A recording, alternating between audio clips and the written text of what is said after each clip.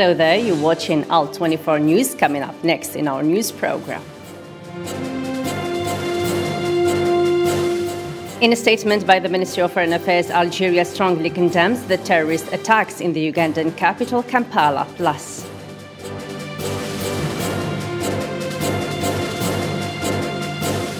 Democrats postponed a vote on Joe Biden's $1.75 trillion Build Back Better bill after House Speaker Kevin McCarthy delivered an extended parliamentary statement that blocked efforts to pass it.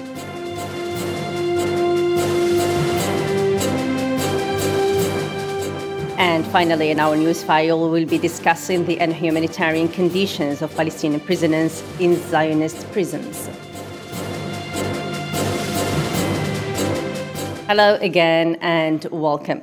First, in our top stories in a statement by the Ministry of Foreign Affairs, Algeria strongly condemned the terrorist attacks in the Ugandan capital, Kampala, expressing Algeria's support to the Ugandan people. It's worth mentioning that the last Tuesday, a twin suicide bombing has hit the Ugandan capital, Kampala, which killed six people and injured 30 others. Let's follow this report. Algeria condemned the attacks in the Ugandan capital, Kampala, on Tuesday, which left six people dead and 30 injured. The Ministry of Foreign Affairs stated that Algeria supports the Ugandan people and government against the terrorist aggression and extends its deepest condolences to the families of the victims and wishes speedy recovery for the injured. The statement added that the Ugandan people will know in these difficult times how to mobilize their strengths and overcome these difficult situations. The Algerian foreign minister stressed that eliminating terrorism requires active solidarity at the continental level, as well as increased cooperation to revitalize the mechanism put in place to confront this ever growing scourge. Police spokesperson Fred Enanga says 21 suspects have been arrested and that all information suggests that this attack is linked to the radicals of the ADF, Allied Democratic Forces. The hallmarks of the attack clearly indicate that the ADF linked radicalized groups uh, who still have a desire to carry out lethal attacks on soft targets using suicide attackers and uh, improvised explosive devices uh, behind these attacks. This comes within the framework of Algeria's efforts to combat terrorism in Africa where the last Monday, Ramtane Lamamra, Minister of Foreign Affairs and National Community Abroad, called before the ministerial meeting of the Peace and Security Council of the African Union for the need to formulate and adopt a comprehensive and integrated approach aimed at addressing the root causes of terrorism.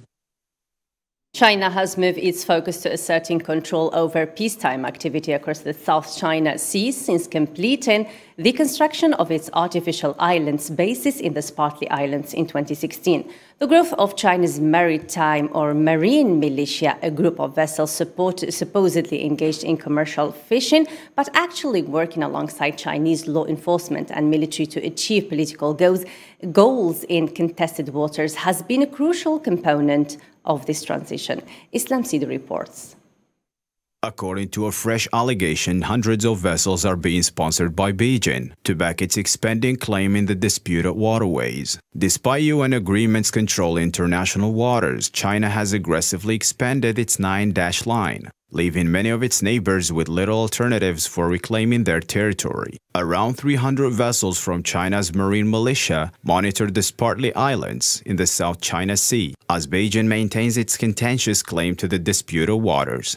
Vietnam, the Philippines, Malaysia, Brunei, and Taiwan all claim parts of the South China Sea, where China has built artificial islands with airstrips, sheltered ports, and other military infrastructures.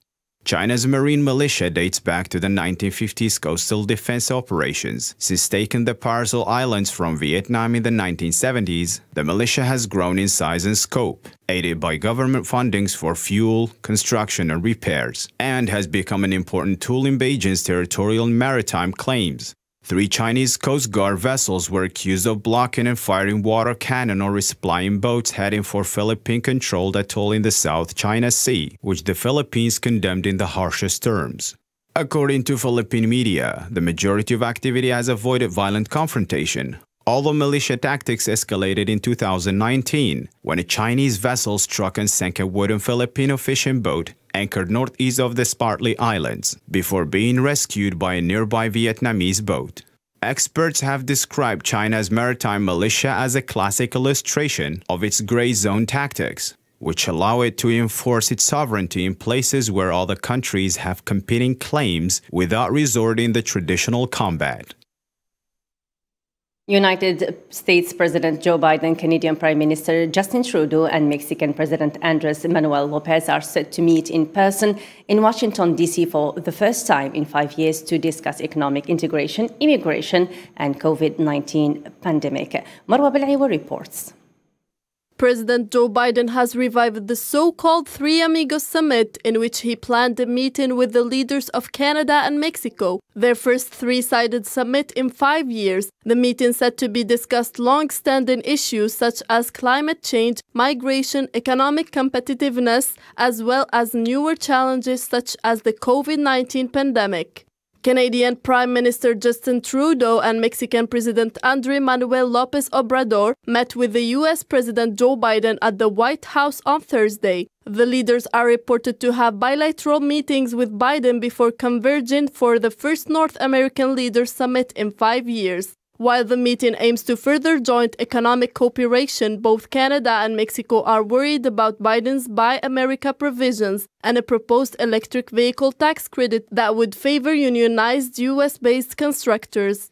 The main points to be discussed in this summit have been the center of issues of both sides with former President Donald Trump since 2016. Biden's social spending and climate bill is being considered in Congress, the latter includes up to $12,500 in tax credits for US made electric vehicles, including $4,500 credit for union made vehicles. This raised the concern of the Canadian Prime Minister Justin Trudeau. On the other hand, the US has been pressuring Mexico to find solutions to prevent migrants, mostly from Central America and the Caribbean, from reaching the border. And for further updates about the same story, US uh, President Joe Biden welcomed his Mexican counterpart and the Canadian Prime Minister to the Three Friends Summit. Biden stated that the summit is about what the three countries can do today as partners and in mutual respect to strengthen the region and demonstrate that democracies can deliver results in the 21st century. For his part, Justin Trudeau expressed his happiness for being part of this discussion that will shape the course for the future. On the other hand, Andres Manuel Lopez stressed that the advantages of economic integration, describing it as the best way to control or to confront China. In their closing statement, the three leaders pledged to work together on migration and climate change without talking about any concrete steps and announced a new summit in Mexico in 2020. Democrats postponed a vote on Joe Biden's $1.75 trillion Build Back Better bill after House Speaker Kevin McCarthy delivered a extended parliamentary statement that blocked efforts to pass it. Marwa again. Biden signed into law the infrastructure package, which primarily allocates federal funds to repairing roads, bridges, tunnels, and other transportation systems, and has eventually traveled the country praising its benefits to voters. After an independent government agency predicted the spending measure would add $376 billion to the federal debt over the next decade, Nancy Pelosi, the Democratic Speaker of the House, announced that the lower chamber of Congress would vote on it. This agenda invests in long term economic capacity and will enhance the ability of more Americans to participate productively in the economy Steny Hoyer, the Democratic House Majority Leader, informed legislators that the vote would be held on Friday morning after McCarthy invoked his privilege to speak indefinitely from the floor. This bill is truly for the people, not just those who have much, but those who have too little. Many Americans are looking at the investments this bill would make in America's workers and families and asking, how are we going to afford it? McCarthy slammed the legislation and the Biden administration in a four hour speech that criticized everything from COVID 19 restrictions to migration at the US Mexico border.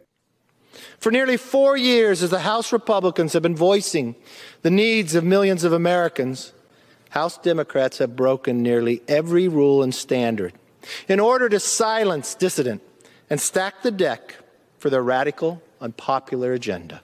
Despite that, the White House has insisted that the bill would be fully paid for. Moderate Democrats have raised concerns that the package will increase the debit, while many Americans are concerned about raising inflation. German Chancellor Angela Merkel said when speaking to the Association of German City Leaders the fourth wave of COVID 19 hits Germany with full force. She described the pandemic situation as dramatic as COVID 19 cases rise significantly. Zara Ferjani on what follow. Germany's Angela Merkel has described the COVID 19 situation in her country as dramatic as the outgoing chancellor considers how to deal with an infection rate that has hit a record. The present pandemic situation is dramatic. I can't describe it differently. The fourth wave has hit our country with full force. And even though there is legal ground for the pandemic national emergency situation, I have no doubt that we are amongst such a difficult situation. Merkel's comments come after the Robert Koch Institute, Germany's public health body, reported a further 52,826 new cases Wednesday and a further 294 deaths. To date, Germany has recorded 5.1 million cases and almost 100,000 fatalities from COVID 19, according to Johns Hopkins University. The daily figure of new COVID 19 cases is higher than ever before during the pandemic, and the number of patients is rising very rapidly. And what's also frightening is the number of deaths in the country. Several states and cities have already imposed more COVID measures and have required the public to show COVID passes, which have an individual's vaccination status or if they've just recovered from the virus in order to access public areas. Inflation rate hits the top around the world and supply chain issue is worsening and the shortage of food supplies as food prices rocket in post-pandemic areas. Wissam Hayedi has more to be clarified. World's economy is reaching one of the worst situations in ages. The surge in consumer goods prices is rising in a scary way.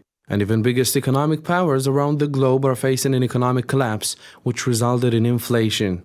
The UN has recently warned that global supply chain crunch is likely to further fuel inflation around the world. World economy polls, including China, the USA, and the UK, are witnessing a push up in consumer prices. This price soar is due to supply chain issues that biggest shipping companies are facing, in addition to oil and gas prices, which increase in a scary way. Economists believe that COVID-19 pandemic and bottlenecks imports are the biggest threat to the world's economy. This inflation rates wouldn't be unprecedented, as during the financial downturn in 2008, inflation rates rose to 5% compared to the current 3% rate. Governments and populations are concerned about the issue, and inflation is being felt all around the world, and worry of economists show that prices are going in a one-way direction, which will further complicate matters for economy superiors and consumers. After a year-long protest against new farming laws, India's Prime Minister Narendra Modi announced his country would repeal the three contentious agricultural laws that he believed were put with good intention.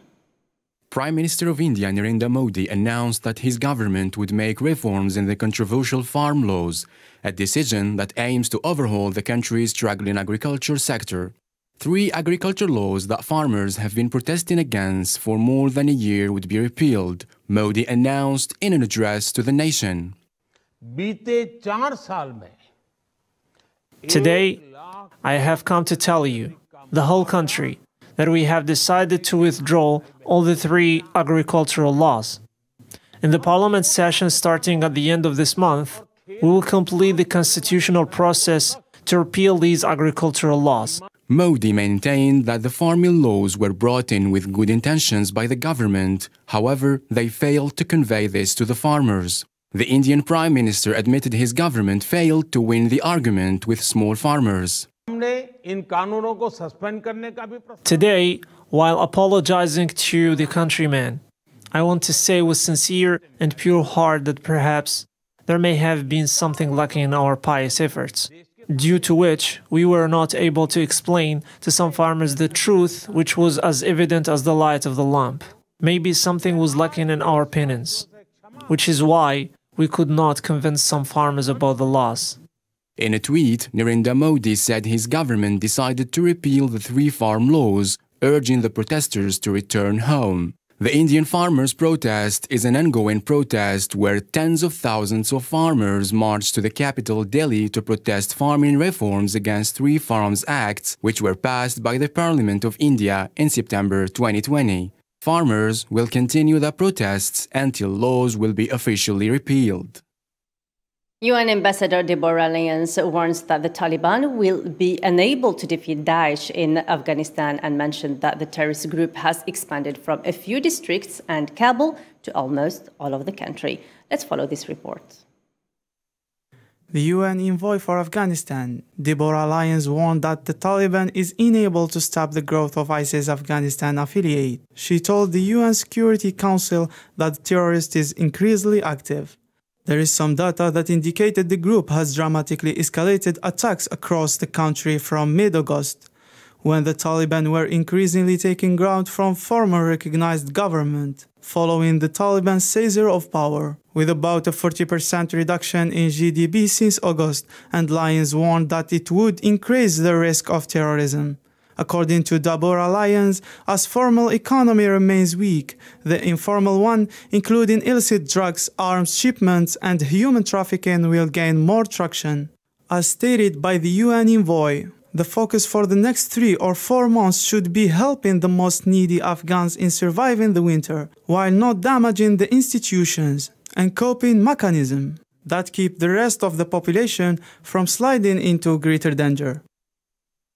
Iran restarted its banned nuclear work, resulted in a report by the International Atomic Agency, uh, which urged the country's government to give more explanations about the activity, while GCC US partnership showed concerns about security in the region. Ayadi Usama has more.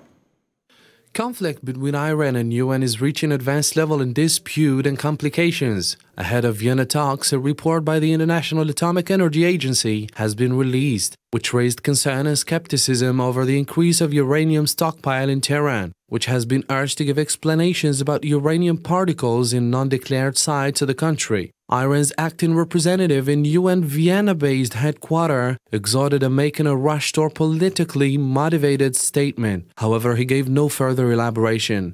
Mohammad Riza Ghaebi immediately responded to the report, and he explained that Tehran notified the agency of the move of purifying uranium up to 60%, and his country is cooperative with the UN despite technical difference issue. This International Atomic Energy Agency report overshadowed the next round of Vienna talks, and according to experts, it will facilitate the task to Europe to put more pressure on Iran.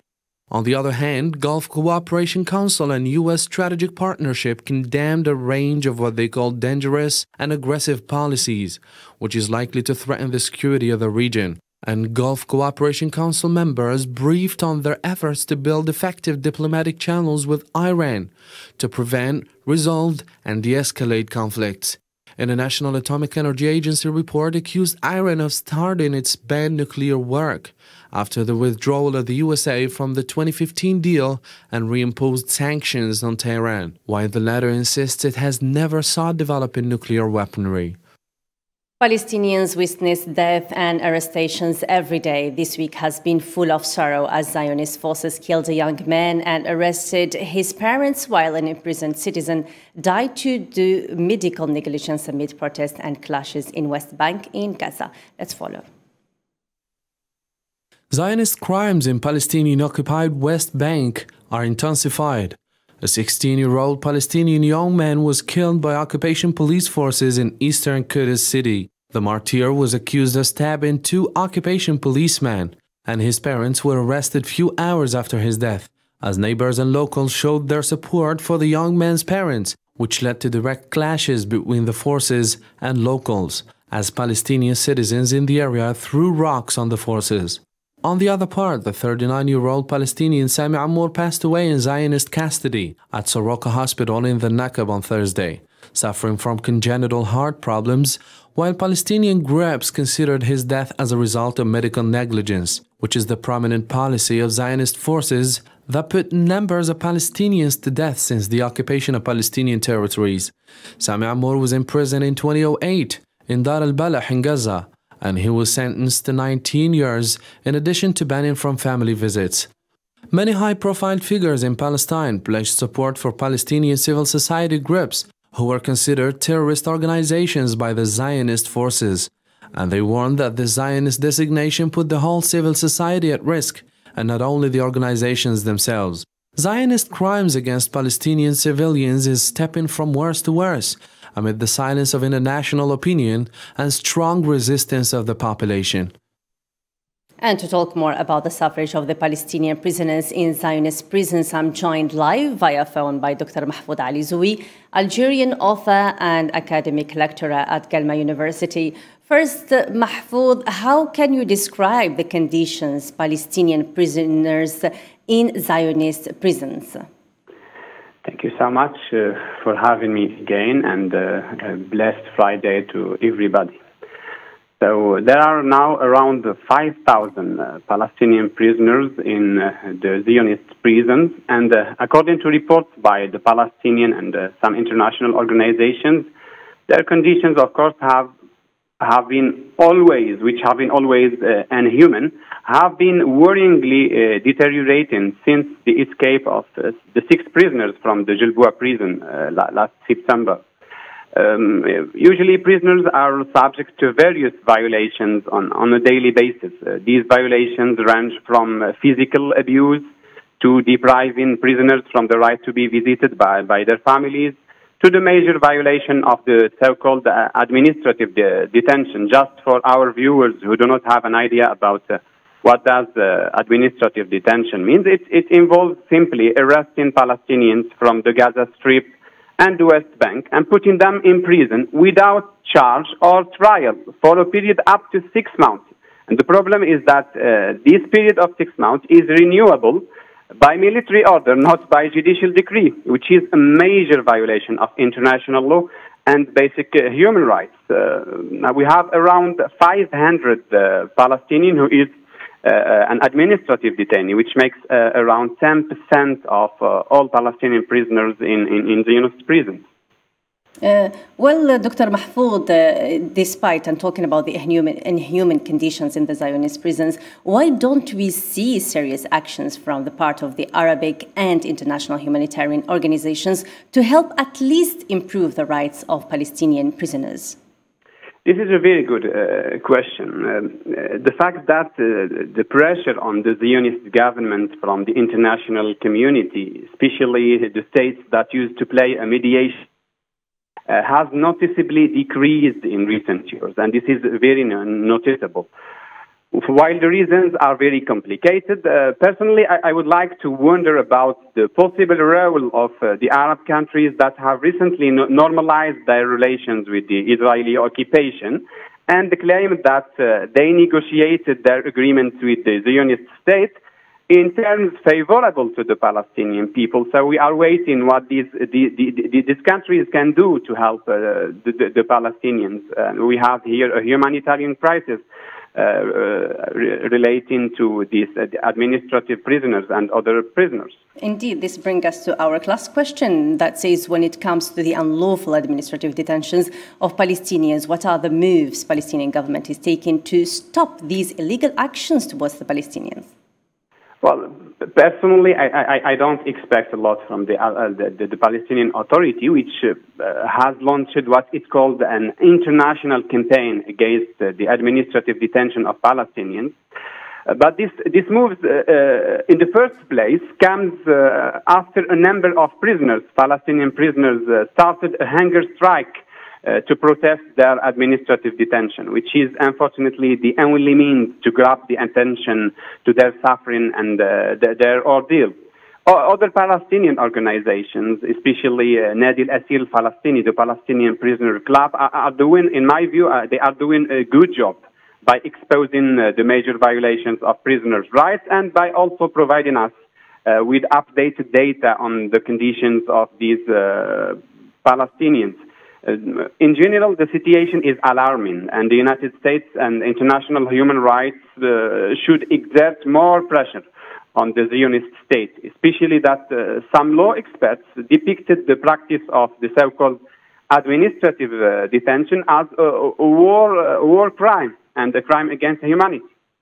Thank you so much, Dr. Mahfoud Ali Zoui, Algerian author and academic lecturer at Guelma University, who joined us live via phone.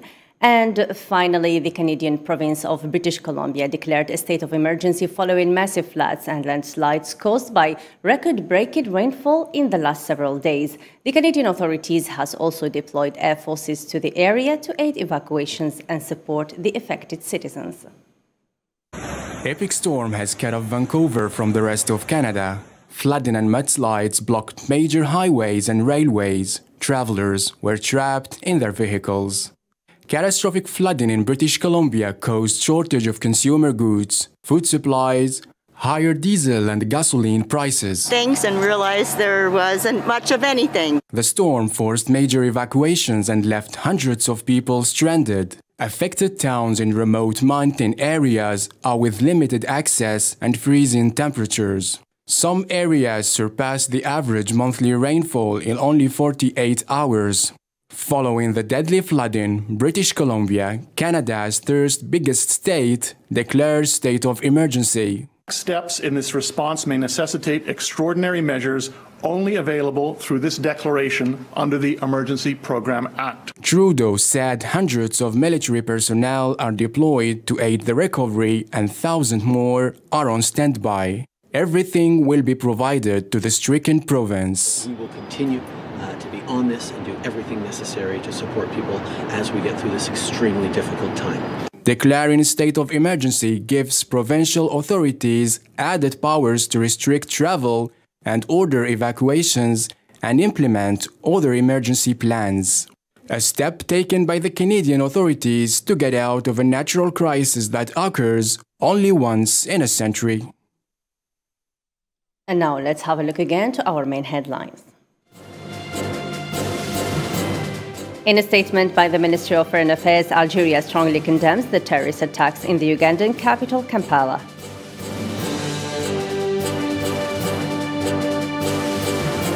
Democrats postponed a vote on Joe Biden's $1.75 trillion Build Back Better bill after House Speaker Kevin McCarthy delivered an extended parliamentary statement that blocked efforts to pass it.